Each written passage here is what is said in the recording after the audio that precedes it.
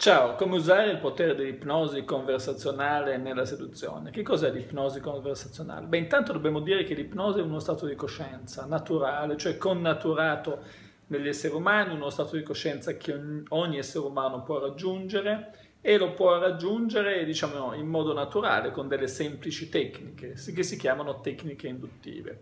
È ovvio che eh, diciamo, in essenza è uno stato in cui la persona è in contatto con la sua parte emotiva e è una forma di comunicazione perché noi possiamo comunicare con la parte emotiva dell'altra persona, non tanto con la parte logica.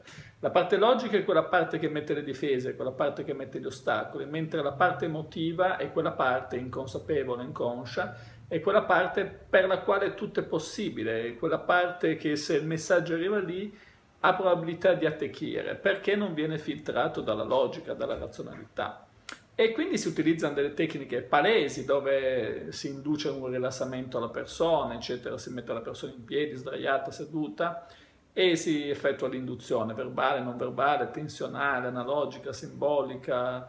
Ci sono diverse tecniche, però non sono applicabili, diciamo così, nel, nella seduzione, perché non è che puoi dire a una persona e adesso stai lì fermo, guardami, osserva il pendolino piuttosto che osserva i movimenti della mia mano, perché se uno è pronto per fare l'esperimento va bene, ma altrimenti non funziona, altrimenti la persona mette subito in atto i meccanismi di difesa. Quindi bisogna usare l'ipnosi conversazionale. L'ipnosi conversazionale è la capacità di mandare dei messaggi alla parte emotiva della persona senza che la parte logica sgami, senza che la parte logica se ne renda conto.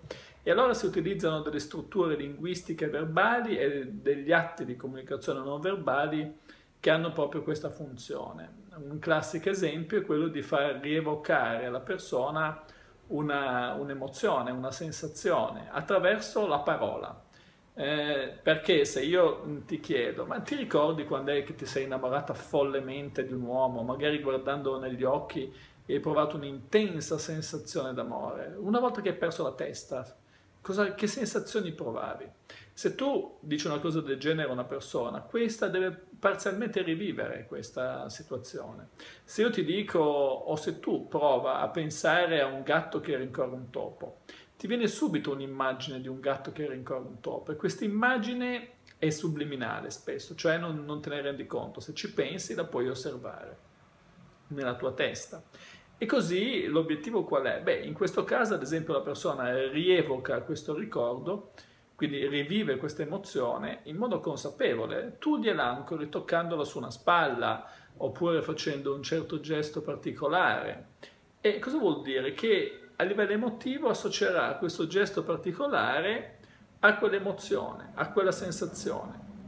E poi in un secondo momento, magari quando sei in discoteca, così, dopo che hai fatto il primo ancoraggio, o al bar o a cena, senza più parlare, diciamo così, del, dell'innamoramento, tu farai questo gesto mentre le dirai mi piacerebbe tanto una volta passare un weekend con te.